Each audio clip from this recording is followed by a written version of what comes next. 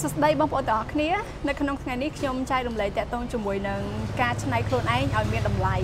បងប្អូនទាំងអស់គ្នាដឹងស្រាប់ហើយថាមនុស្សយើងម្នាក់ម្នាក់គឺយើងចង់ឲ្យខ្លួនយើងជាមនុស្សម្នាក់ដែលមានតម្លៃមានគុណតម្លៃមានប្រយោជន៍អាចជួយទៅដល់អ្នកដទៃអាចក្លាយទៅជាមនុស្សម្នាក់ដែលជាធនធានល្អសម្រាប់សង្គមជាតិអញ្ចឹងសួរថាតើយើងគួរតែធ្វើបែបណាដើម្បីឆ្នៃខ្លួនឯងឲ្យមានតម្លៃអញ្ចឹងនៅក្នុងថ្ងៃនេះខ្ញុំមាន3ចំណុចដែលអាចជួយទៅដល់បងប្អូនទាំងអស់គ្នាឆ្នៃខ្លួនឯងឲ្យក្លាយទៅជាមនុស្សម្នាក់ដែលសង្គមដែលមនុស្សជំនាញខ្លួនត្រូវការយើង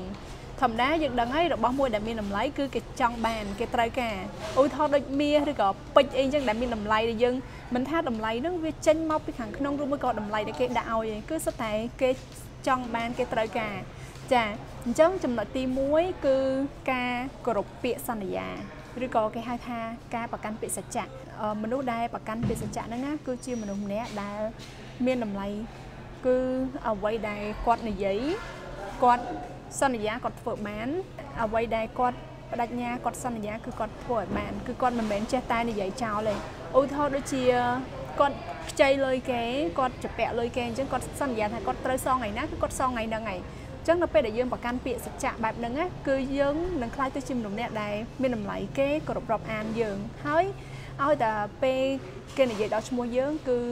គេសម្គាល់ថាយើងនឹងគឺជាមនុស្សម្នាក់ដែលស្មោះត្រង់ ចំណុចទី2គឺបងប្អូនទាំងអស់គ្នាប្រហែលជាធ្លាប់ឃើញរូបមួយនេះរូបមួយហ្នឹងគេថាបើសិនជាយើងចេះឆ្នៃខ្លួនឯងគឺយើងនឹងខ្លាចទៅជាមនុស្សអ្នកដែលមានតម្លៃប្រៀបបានដូចជាដុំឈើមួយអញ្ចឹងដុំឈើមួយដុំហ្នឹងបើសិនជាយើងយកវាទៅឆ្នៃឲ្យខ្លាយទៅជាព្រះពុទ្ធរូបគឺយើងនឹងគោរពថ្វាយបង្គំប៉ុន្តែបើសិនជាយើងយកដុំឈើហ្នឹងទៅដុតធ្វើជាភ្លើងក៏យើង ទទួលបានមកវិញគឺភ្លើងប៉ុន្តែចុងបញ្ចប់គឺគ្រាន់តែជាផេះមួយដែលអត់ន័យអញ្ចឹងដូចគ្នាជីវិតរបស់យើងគឺយើងច្នៃខ្លួនឯងយើងធ្វើយ៉ាងណាឲ្យយើងនឹងคล้ายទៅជាមនុស្សម្នាក់ដែលអាចជួយទៅដល់កិច្ចការងារខ្លួនឯងក្រុមគ្រួសារនិងសង្គមជាតិរបស់យើងតាមរយៈការមានចំណេះដឹងតាមរយៈការខិតខំប្រឹងប្រែងធ្វើការងារដែលជាទូនាទីរបស់យើងឲ្យបានល្អបើសិនជាយើងធ្លាប់តែជាមនុស្សម្នាក់ដែលមកពីគ្រួសារក្រខ្សត់មកពីទីដាច់ស្រយាល គឺយើងអត់អាចបង្ហាញពីសមត្ថភាពរបស់យើងបានអញ្ចឹងយើងខំប្រឹងប្រែងរៀនសូត្រយើងព្យាយាមធ្វើកិច្ចការងារណាដែលយើងអាច challenge ខ្លួនឯងយើងអាចអឺយកឈ្នះនៅរឿងណាដែលជារឿងលំបាកលំបាកបានណាគឺយើងនឹងអាចធ្វើឲ្យយើងខ្លាចទៅជាមនុស្សម្នាក់ដែលរឹងមាំអញ្ចឹងតើកាលណាយើងរឹងមាំទៅណាក៏គេត្រូវការយើងដែរតើកាលណាយើងខ្លាំងយើងប៉កែគឺគេត្រូវការយើងពីព្រោះនៅកន្លែងការងារក៏ដោយនៅកន្លែងណាក៏ដោយគេត្រូវការមនុស្សដែលក្លឹប ក្នុងការធ្វើការងារដែលអាចជួយយឹតយោងជួយស្រោចស្រង់ក៏ដូចជាជួយជំរុញឲ្យក្រុមហ៊ុនរបស់គេរីចម្រើនទៅមុខបានដែរហើយចំណុចទី3គឺការមិនធ្វើរឿងណាដែលអត់ប្រយោជន៍ការធ្វើរឿងដែលអត់មានប្រយោជន៍គឺធ្វើឲ្យយើងខ្លាចទៅជាមនុស្សដែលអត់ប្រយោជន៍ដូចគ្នាឧទាហរណ៍មួយថ្ងៃមួយថ្ងៃបើសិនជាយើងចំណាយពេលធ្វើរឿងណាដែលមានប្រយោជន៍ដូចជាយើងខំប្រឹងប្រែងអានសៀវភៅយើងខំប្រឹងប្រែងធ្វើការងាររបស់យើងដូចជា បើសិនជាអ្នកធ្វើជាកណន័យករយើងខំធ្វើការងាររបស់ខ្លួនបើសិនជាគ្រូបង្រៀនខំធ្វើការងាររបស់ខ្លួនប៉ុន្តែបើសិនជាអ្នកគឺជាគ្រូបង្រៀនឬមួយក៏អ្នកគឺជាបុគ្គលិកធ្វើការងារក្រុមហ៊ុនប៉ុន្តែមួយថ្ងៃមួយថ្ងៃអត់ខំប្រឹងប្រែងធ្វើការងារទេប៉ុន្តែបែរទៅជាអង្គុយនិយាយដើមគេឬមួយក៏គិតរឿងអវិជ្ជមានឬមួយក៏គិតតែលេង Facebook អញ្ចឹងអញ្ចឹងមួយថ្ងៃគឺយើងចំណាយពេល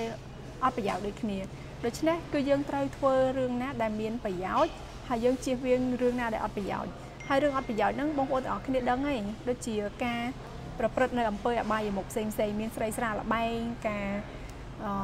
និយាយដើមគេការឆ្លោះគ្នាអីទាំងអស់ហ្នឹងគឺសុទ្ធតែជារឿងអត់ប្រយោជន៍ទេអញ្ចឹងបើសិនជាចង់ធ្វើឲ្យខ្លួនឯងមានតម្លៃគឺត្រូវតែធ្វើរឿងដែលមានតម្លៃចាបើសិនជាយើងជាមនុស្សម្នាក់ដែលខិតខំប្រឹងប្រែងអភិវឌ្ឍខ្លួនហើយជាមនុស្សម្នាក់ដែលប្រកាន់ពេសច្ចៈហើយជាមនុស្សម្នាក់ដែលលះបង់នៅរឿង អត់បានការយើងធ្វើតែរឿងណាដែលមានប្រយោជន៍អញ្ចឹងគឺយើងនឹងខ្លាចទៅជាមនុស្សម្នាក់ដែលមានតម្លៃហើយតម្លៃរបស់មនុស្សយើងណាគឺយើងអត់ចាំបាច់ឲ្យនរណាម្នាក់គេឲ្យតម្លៃយើងថាយើងជាមនុស្សម្នាក់ដែលល្អដែលប៉ាកែដែលខ្លាំងឯងគឺយើងចេះកំណត់តម្លៃទៅខ្លួនឯង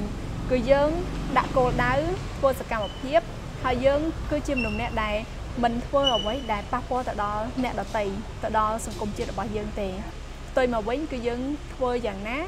អភិវឌ្ឍខ្លួនឯងជួយដល់អ្នកដទៃជុំវិញខ្លួននិងចូលរួមក្នុងការកសាងសង្គមជាតិរបស់យើងទាំងអស់គ្នា